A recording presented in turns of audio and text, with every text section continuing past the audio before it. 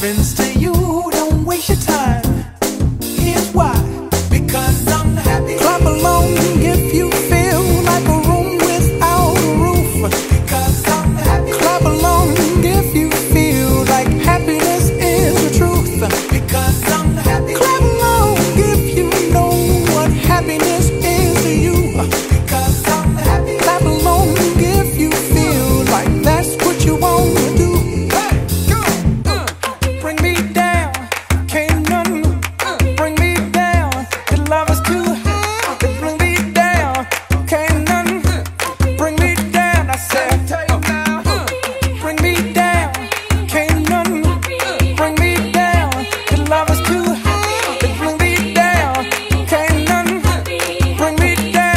because